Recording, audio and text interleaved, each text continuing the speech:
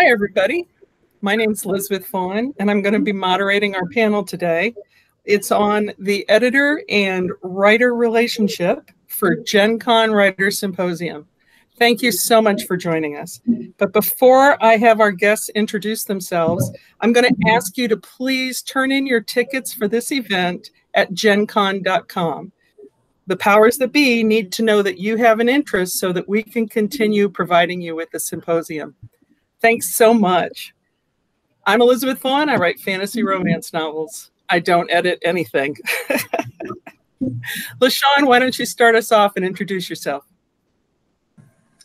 Hi, I'm LaShawn M. Wanak. Uh, I am a writer of short stories, uh, fantasy, and a little bit of horror. Um, I'm also the editor for Giganotosaurus, which is a short story magazine uh, online.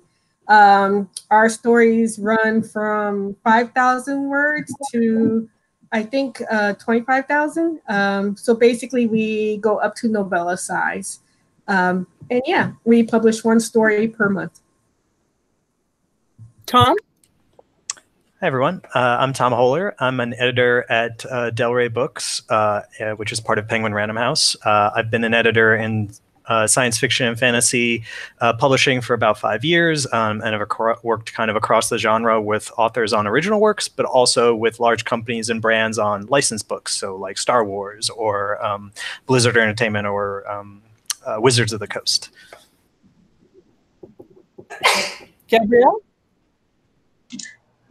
I'm Gabrielle Harbowy. I uh, I've written short stories and three novels, including a Pathfinder Tales tie-in novel. But I'm primarily an editor. I've been editing in the field for about 15 years. Uh, I was an acquisitions editor at Dragon Moon Press uh, and managing editor for 10 years.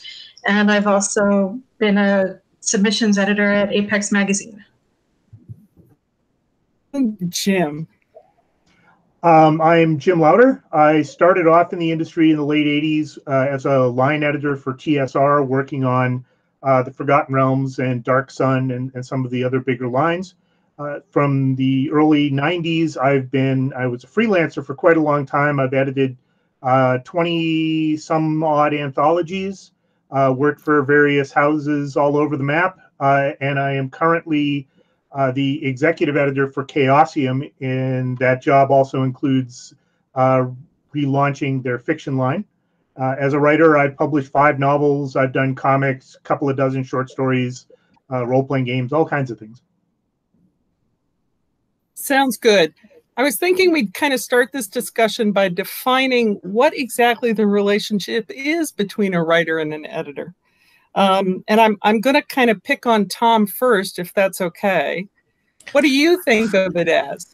Uh, so I think of it. Oh, sorry, the lights just flashed as there's a very cool thunderstorm outside. Uh, anywho, um, I kind of think of it as both um, a collaborative storytelling partnership, but broadly speaking, like it is a close partnership and relationship. Um, the act of storytelling and creating a story um, is such an intricate and challenging uh, endeavor that in order for um, an editor and a writer i think to do so successfully involves them not just understanding each other's storytelling um, tendencies and capabilities and perspectives but also understanding like who they are as individuals and people and what sort of perspectives and history and background and points of view that you are bringing into the storytelling process.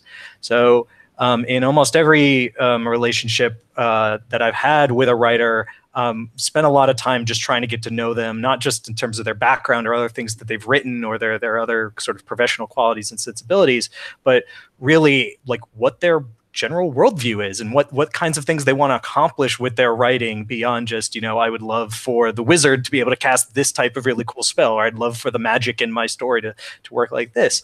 Um, and to be honest, I have and seek to have as close relationships as I have with with writers. And the the best books that I think I've done or worked on have been the ones that have had the closest relationships, akin to like the close relationships I have in my personal life. Um, which sounds like a really mm-hmm. daunting thing that you, um, and in some cases it is, but it just sort of underscores, at least for me, and underpins how kind of um, at times like sacred and important the the relationship between an editor and a writer is. Do you do you think of yourself as the editor as also an advocate for the writer at the publishing house? Uh, absolutely. I mean, you know, at a publishing house, the person who knows the book best is the editor. So you are not just the central advocate for that book, you are the fulcrum for that book. So everything that's going to happen to that book from a marketing and publicity standpoint, in terms of production, design, you know, copy editing, proofreading, literally anything has to and will inevitably sort of pass through your purview. And you are the fulcrum. You're the person who has to like bring all of those disparate uh, elements together to work in tandem in terms of scheduling and in terms of like here is our uh, vision for the book. So yeah, you're you're the internal advocate because if anyone has a question about the book, you're the person who knows it best. You know the the you know you know the plotting the best. You know the author the best. You know what the author wants to um, accomplish with their story. So you're the person who's like the first uh, person who's going to be asked any question, even if it's not really within your normal expertise. Um, absolutely. LaShawn, does it work the same way for you?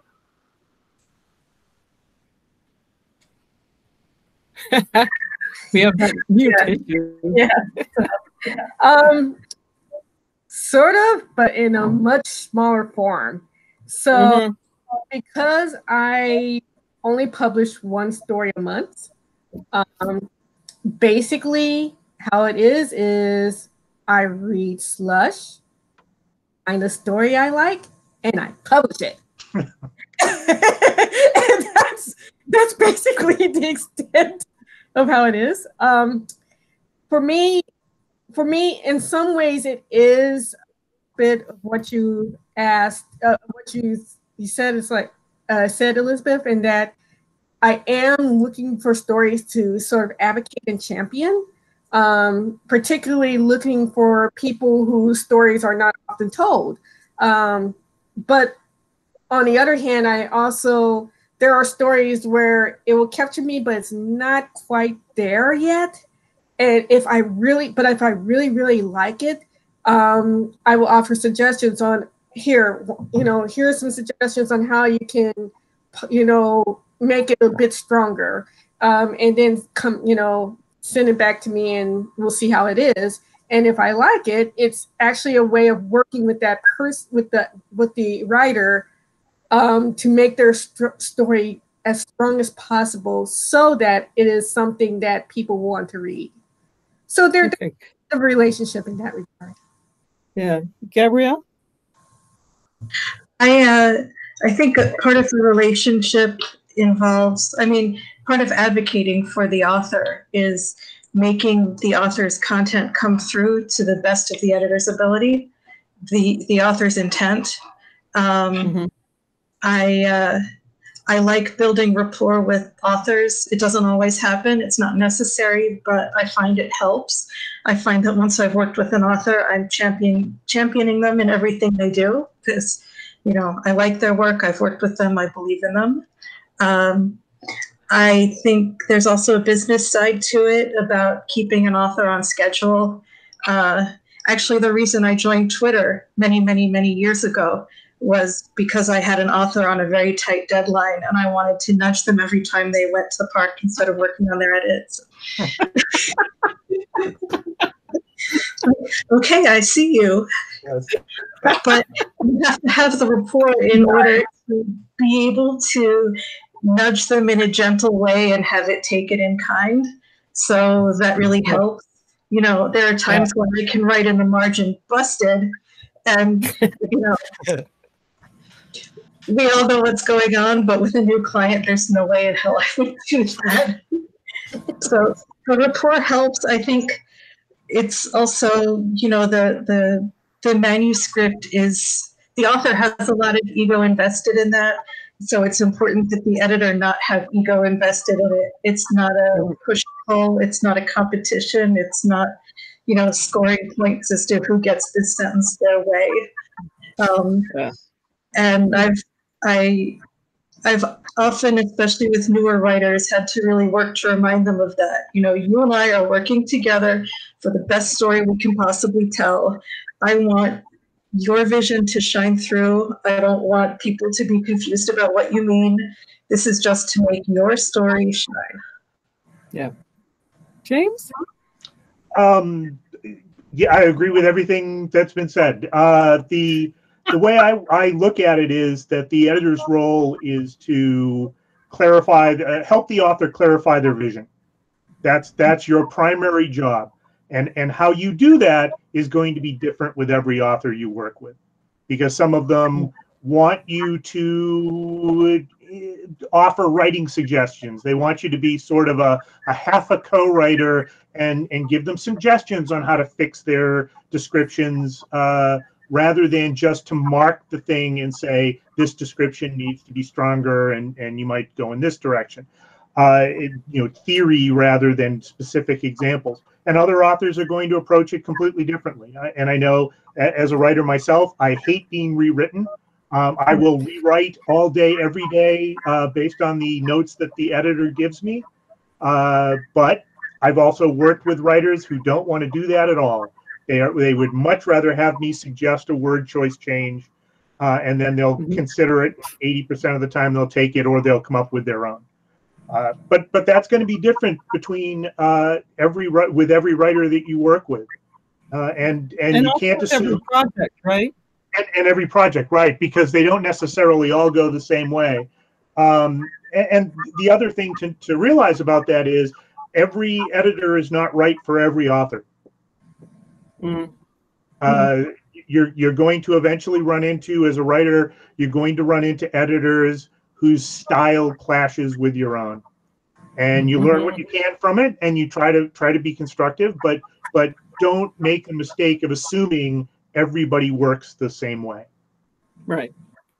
Let's I would uh, add to that, oh, sure. I could, that uh, absolutely not every editor has the luxury of working the way they want to work because mm-hmm. there are also constraints on the project. Yep. And mm-hmm. you know, some publishing houses, the editor and the author never get to interact. They don't know who their copy editor is. They don't know, you know, who their line editor is. Right. Uh, so, uh, you know, the the way I might want to interact with an author might not be the way I'm allowed to interact with an author. And so that's yeah, and that that steps it back. That's a great point. That steps it back to the idea that every publishing house isn't necessarily right for every author either, because the author is going to want different things out of the relationship. Yeah. Yeah. So so basically what we're talking about here is a relationship that's built not just on creativity but also on the professional business aspect. So let's talk about this writer's favorite thing deadlines and how to maintain a relationship with an editor when you run into problems with those deadlines. Anybody got any suggestions? Be honest. Mm-hmm. That's that's the the fundamental one is be honest and keep communication open. There is nothing that will make a project go from troubled to flaming dumpster fire faster than the author refusing to answer emails or hiding how serious a problem is or, or having issues like that. Exactly. Mm-hmm. I mean, you know, the simplest thing is like you can't solve a problem unless you know there's a problem. So right. if an author is communicative with, "Hey, this is not working," that's fine. We can solve any problem. We'll figure it out. But if if the author never raises their hand or never says, "Actually, yeah, this is not working. This deadline's not going to work. I'm having this thing going on," then the rest of the publishing kind of machine, publishing house large or small, like you know, mm-hmm. we talked about there's all these different departments. Like the rest of the publishing train is going to keep heading down the tracks. Um, I realize I'm mixing my metaphors here a little bit, but like, and the author is going to be pulled along the way unless the author says, "Can we please stop for a second so that we can work this out?" So right. yeah, it's really about open communication first and foremost. Um, and and all that stress and all that adds stress to the editor's relationship to the project as well because they're being asked these questions by other people that they're the cover artist or the advertising people or whatever size uh, uh, publisher you're working with there are other people you are working with as an editor and they're asking you questions about the book and there's nothing worse than being able than having to say i don't know yeah. uh, and that yeah, creates yeah. all kinds so, of stress so if an editor is being an advocate you also have to respect that the editor is your point person at the publisher and needs to meet their deadlines and their responsibilities for all the things that come together to bring a book or a publication to life. Right. LaShawn, do you have a separate kind of a separate issue because yours is, you know, one story a month? Do you have other issues that you have to deal with uh, authors? Yeah, um, for me, it's yeah, it's a little bit different because um, usually um, the time between I accept a I accept accept the story and then get re- ready for publication it's usually uh, unless the story is very very long uh, and if it really has some serious you know copy editors uh, copy editing that needs to be done um, usually for me i can turn i could turn it out around really quick uh, so mm-hmm. it's more corresponding with the author hey does you know so it, in, in cases you know such as for me i have to just make basically make sure that the author is still available to reach, you know, via email. So it's like, hey, you know, here are, you know, some changes, you know, and usually, usually most of the stories that come to me are very well put together anyway. So I barely need to like change a lot stuff, you know, if anything is more typos, you know, formatting, things of that nature. So, yeah. but, um, but yeah, um, I I use this is where I usually have a schedule set up in advance, so I'm able to say, okay, here's where your story is going to be published. Here's where I'm going to send you, you know, edits. Usually, if anything, the deadlines are slipped by me because I'm also juggling a day, day job, you know, and right. my own career. So, yeah, yeah. it's it's you know I'm usually I like, sorry, I got this to you a little late. Can you look this over and make sure it's okay?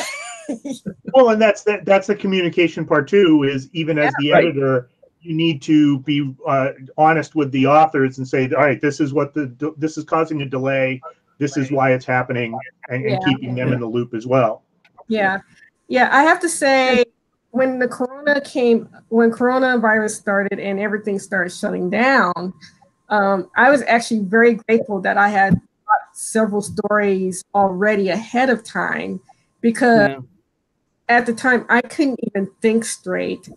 Um, but luckily, I was at that point. It's like, you know what? These stories are already paid for. I just need to do the edits and go. And that actually helped me out a lot because I had to, I didn't have to rush or panic or anything. I, you know, I was able to freak out about the for about a month or so and be like, okay, yeah.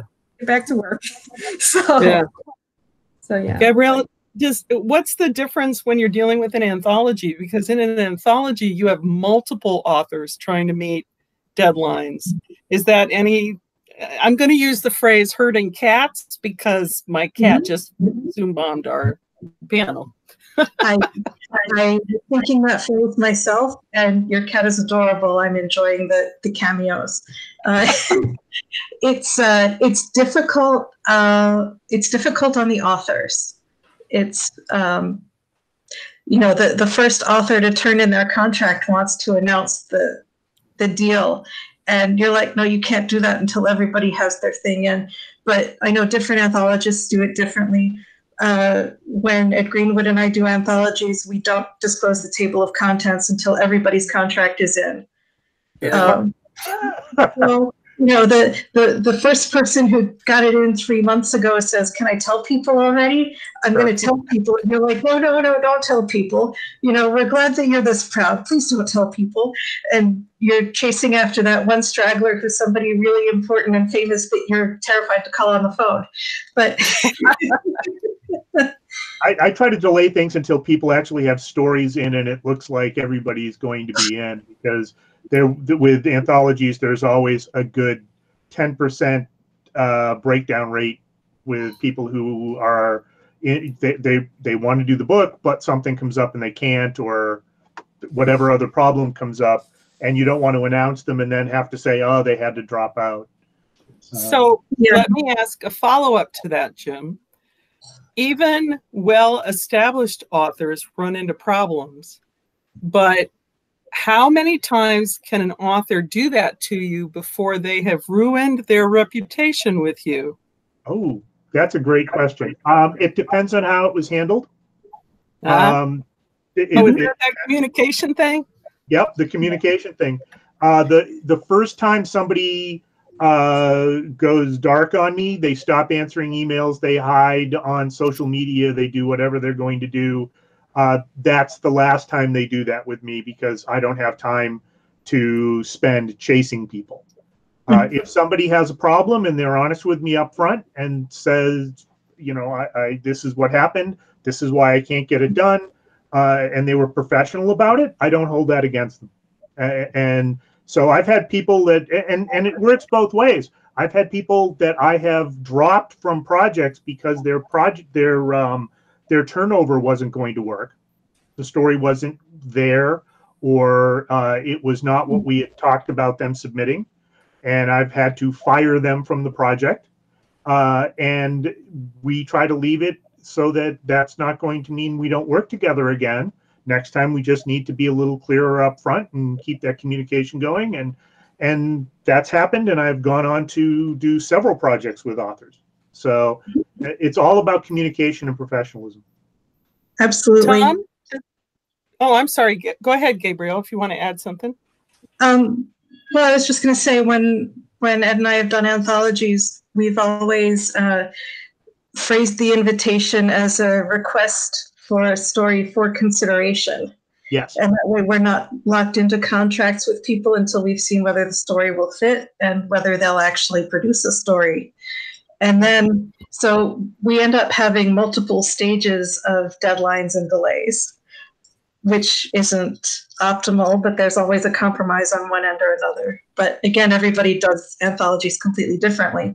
But that's the way we, we make sure we're not sending out a contract unless we know we want the story or to, you know, people who aren't going to be able to get us a story so that there's no hard feelings there. Uh, there have been hard feelings at times when people didn't notice that clause in the invitation and thought, oh, well, this is guaranteed. You have to take my story now. and uh, that's always been pretty awkward. But again, it's communication.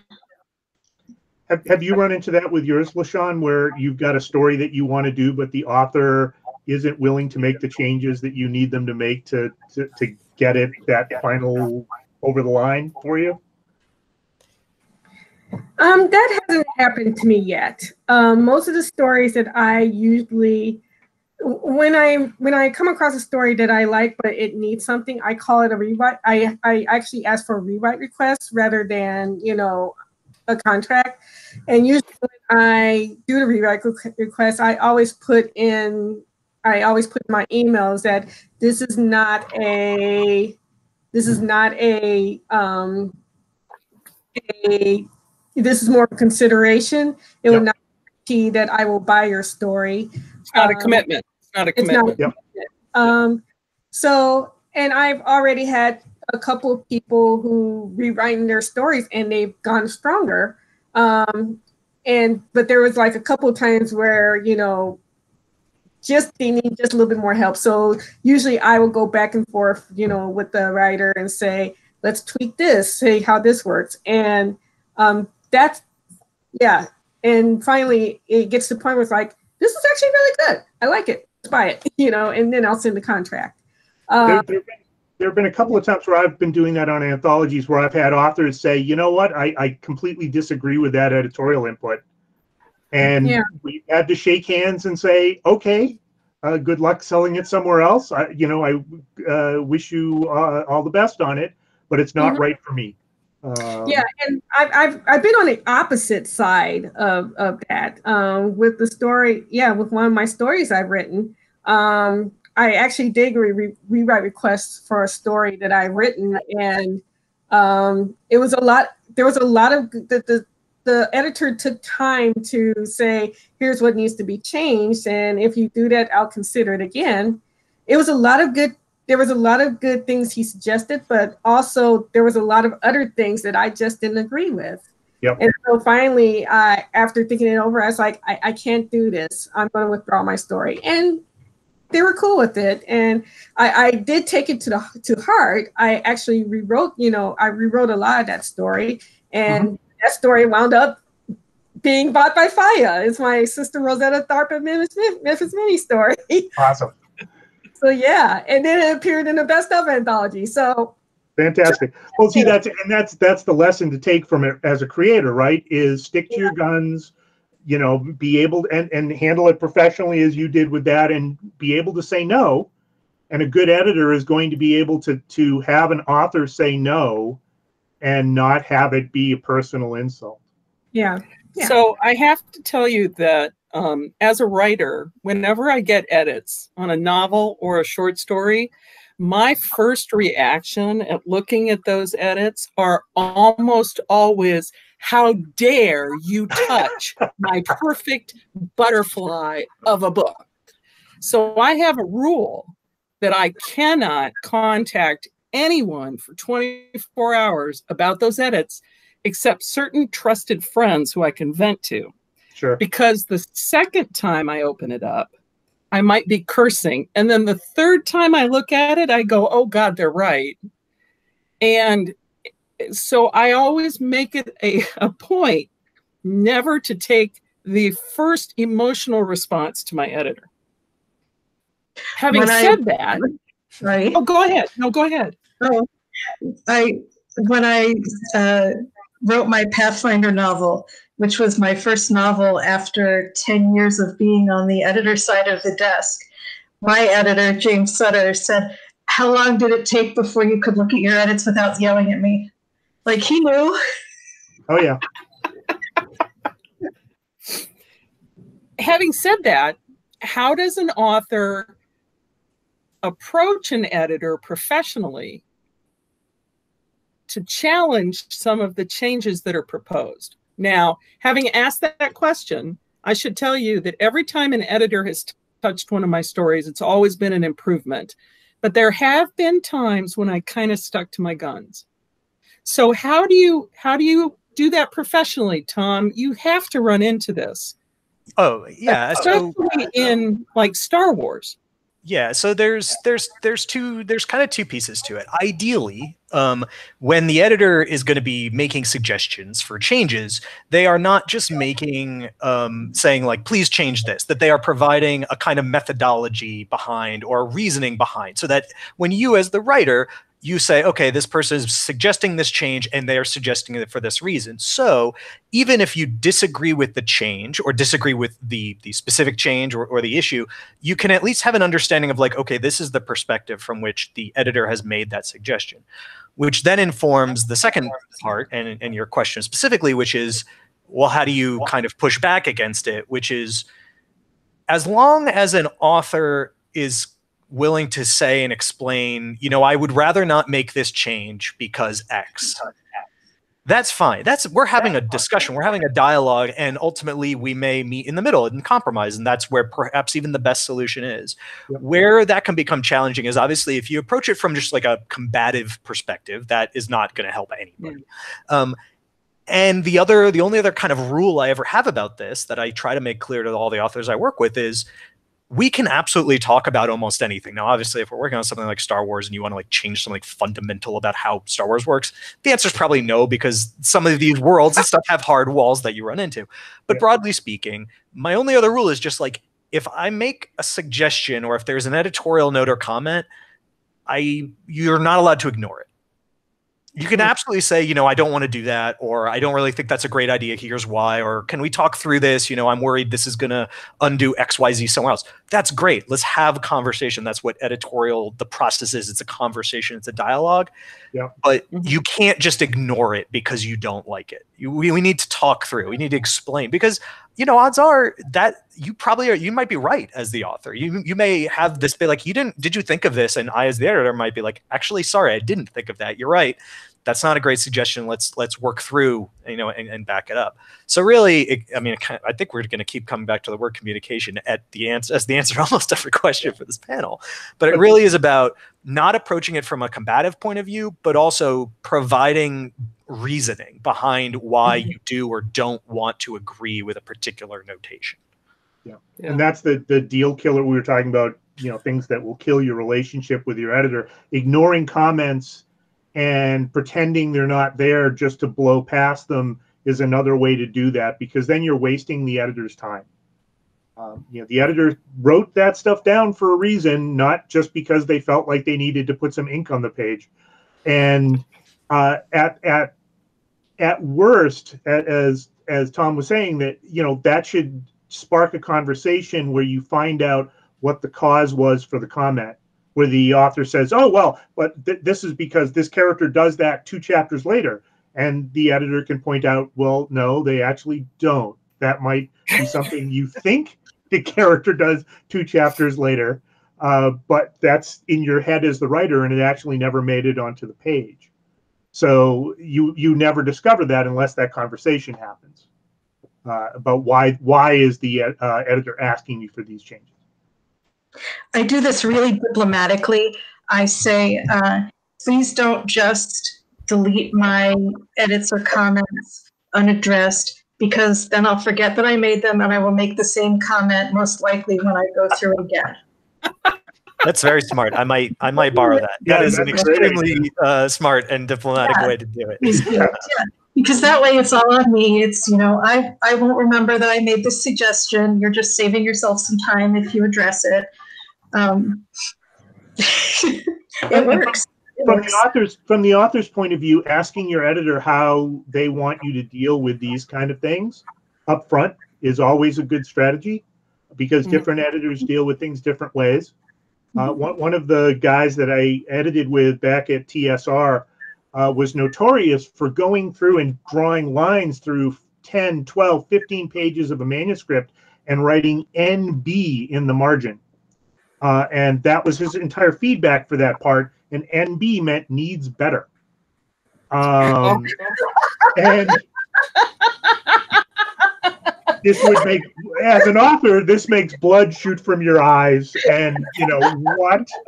Um, there were people, and this is the, this was the perspective thing, right? There were people who actually really liked working in those with that editor. That that So- to them was enough.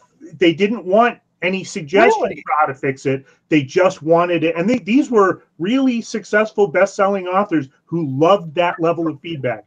I hated it. I see that. Yeah, because sometimes, and this is this is coming from the from a short story side, but Yep. also, um, this is me as being an editor relatively is new for me. Um, sometimes when you're going through and you're reading a story, you just don't know what needs to be fixed. Right? And it just needs to be better. and unfortunately, those are actually those are probably the ones that I probably sit on the longest because I try to figure out, you know, what it is that I don't like about the story, and it just what you just said there, it just needs to be better. It and just didn't quite Right. work for you. Yeah. But, Yeah. but don't you think that that if we're talking about the writer's obligations to an editor, the editor also does have an obligation for constructive criticism. Oh, I mean, absolutely. I got Yeah. Yeah. Uh, I I would say for on the writing side, I'm learning that that actually be it, it might not actually be the case in that when you reject a story, you want to reject you want if you're holding it on for that long, you want to you, you want to have reasons why, but sometimes you just don't. And Yep. you have a story. Usually, my answer for that is that it just didn't work for me right. one of the things that I need to work on myself um, is around those type of stories better because if it get rejected rejected from me, it may not work for me, but it may work for another editor. So getting them out and getting them um, it rejection's harsh, but at the same time, it allows you to move on to the next market. And so um, that's on me as an editor. Um, but there are some stories that I actually do know what's going on, and I actually do take time to say, "Here's why it didn't work. Um, here, here's what needs to be fixed." Um, it's not. I still won't. I'll still reject the story, but it may be something that the author can use so that they can fix it and then move on. Sure. Um, it, it, it's a balancing act um, of knowing which story to do that for. So. But a, reje- a rejection isn't necessarily bad news. I mean, Oh, no. and, and that's and once you've been doing uh, editing long enough, I I read uh, uh, Slush, and I'm doing it again for Chaosium, but I read Slush at at TSR, and there were a couple of books that we rejected, and by the time after I was about six months into the gig, I realized, you know, part of it is this is a brilliant book, but it's completely wrong for TSR at the time in 1990 because our audience would not value this book and would not support it. And we as a company couldn't sell it because it's it's looking it's it's aimed at a different audience. And uh, a couple of those books that i rejected with those those kind of letters actually ended up at Tor and and other major houses where they were really successful and and that's great it was actually in the author's uh, best interest that I realized what was, uh, you know, what the the place of that work would have been in the publishing house. And sometimes the rejection is in your favor. Absolutely. But the um, uh, what kind of edits? Um, so I'm going to kind of pivot a little bit and ask what kind of edits um, you do. Do you do story edits? Do you do um, like, for example, LaShawn, you probably not only do story, but you also do line and copy edits, right? Um, Follow acts. um, for the most part, for me, when I like I said, it, it depends on the story. Um, there there have been some stories that come to me and they are they've been spell checked, they've been proofed. They're basically I can put them on site as is. Um, so I like those stories. Send me those. Send me those if you want to, you know, get a leg up. Yeah. Um, but there have also been stories where um, I actually have done actual story, you know, actual story, and a lot of it have to do with you either consistency or um, there'll be a there'll be a scene that felt out of place or that needed to be um, elaborated on. So those would be my comments. Um, and I actually would make those comments as I'm reading them in advance so that, um, and like I said, I've only done this like once or twice in, so far as editor, um, where I would actually send it uh, maybe a month or so ahead of time saying, let's work on this together. Um, but for the most part, it's more copy edits for me. For the most part. Gabrielle, do you do story as well as line and copy, or do you have copy editors? I'm a freelance editor, so I do whatever the project requires. Ah, okay. So when I was with Dragon Moon, I was doing acquisitions and development and copy editing and the whole thing. Uh, at other publishers, at Pyr, I was just doing copy editing. Um, you know, for other authors or projects, I might just be doing proofreading. It it depends. Okay. Tom, I'm saving you for last. James? Um, I it, again, it depends on the project. For anthologies, I def, I do uh, everything except the final proof. I, I like to have at least one more set of eyes go over a book after I'm done with it because I know there are things I miss. Uh, but for the for um, Chaosium stuff, uh, I'm again I'm doing uh, you know kind of everything short of the final copy edit. You know the proofread slash copy edit pass. Tom, I'm assuming that, you know, at a making house that you're mostly doing story.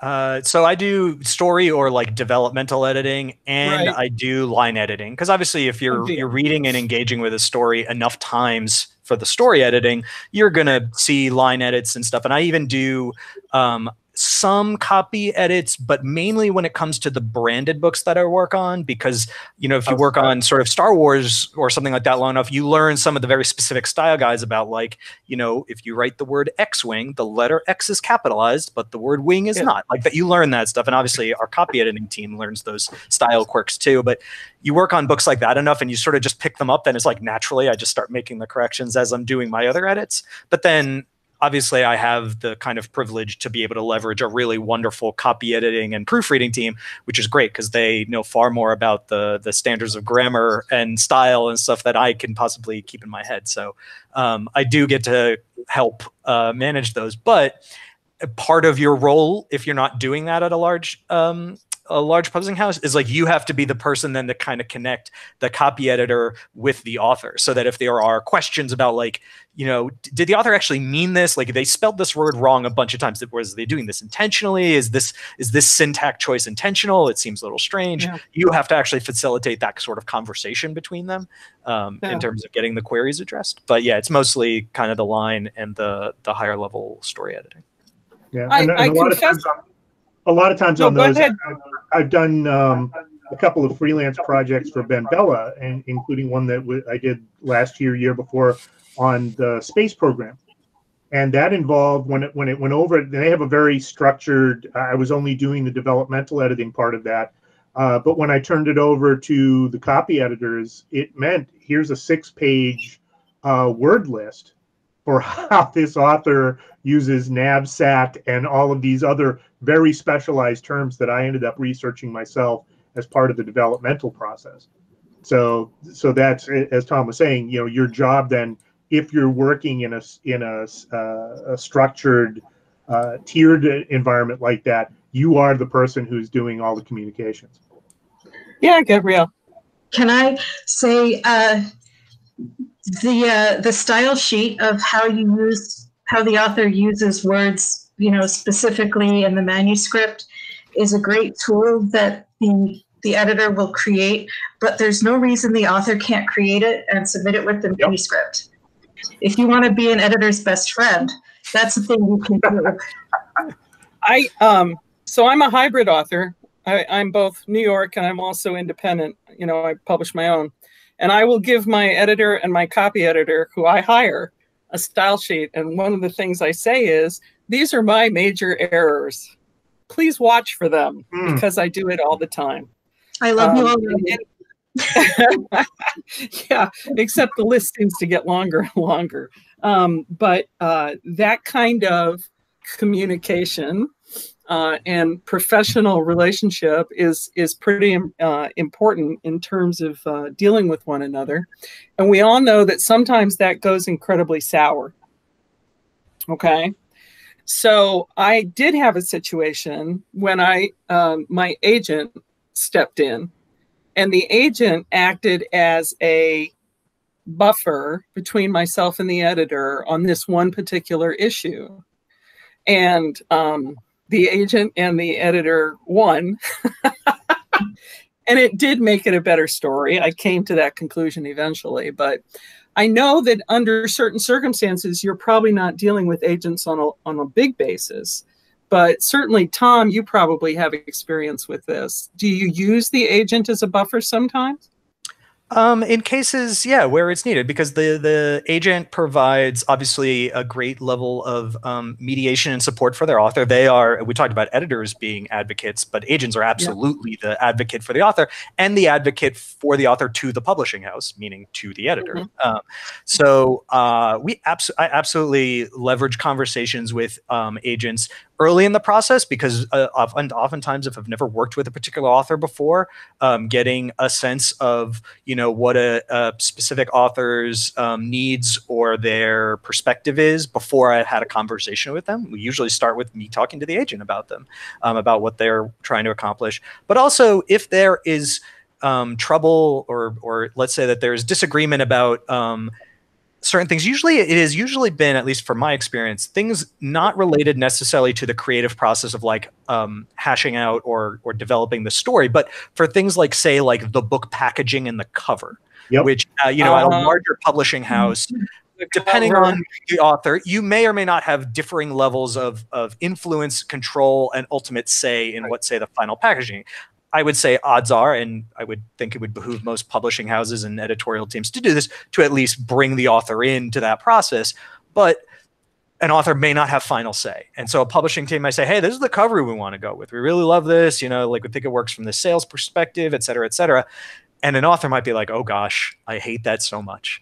Um, and you know, or I just, you know, I'm, I'm challenged by it, or you know, my my what I really envision as far as what I want to get across with is not this. And so I've certainly had some conversations about things like that with the agent, where the agent is obviously the author has has brought their concerns to the agent and the agent is bringing them because this is about a sort of negotiation about this part of the book mm-hmm. and the agent and I can have a conversation that gets at both the author's concerns and the sort of heart of what the author wants to accomplish and also allows like the the author can have let's say they have you were you were mentioning um, elizabeth like this really visceral reaction you have to edits initially and how you it's like i put these out mm-hmm. it allows the author to have like a really visual like oh my gosh i really don't like that and a kind of really visceral reaction to it but not in a way that as we've been talking about like impacts the sort of professionalism that the author mm-hmm. has yeah.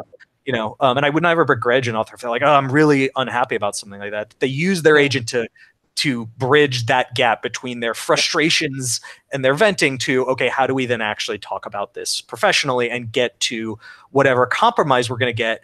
And in particularly something like that having the agent is helpful because in a situation like that where ultimately maybe the author doesn't get final say chances are you're still going to only end up at a compromise and the author yeah. may not be made you know fully satisfied there um, so yeah i find it really helpful. Um, and particularly when it's an agent that i i may have not worked with an author before but if an a, if it's an agent that i have a pre-existing relationship with because i've worked with them across some authors that can really help. It can help bridge that that gap. It can help bridge that relationship um, when you're trying to develop that rapport with an author or it's an issue that the two of you are at an impasse at and you need that third person to help kind of translate for both of you it's supremely helpful. Yeah.